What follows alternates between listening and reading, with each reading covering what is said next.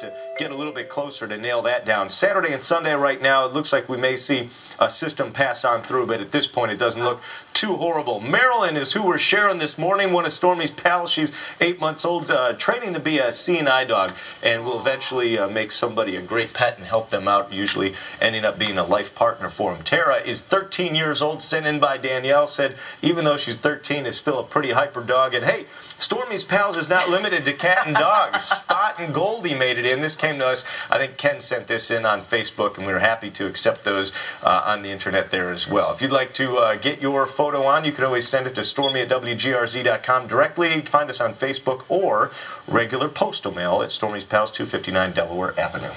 All right. I think that's Stormy's first fish friends. It might be the first fish one. Yeah, I think there's a deer coming up in, in line as well. Why not? Yeah. All right, coming up on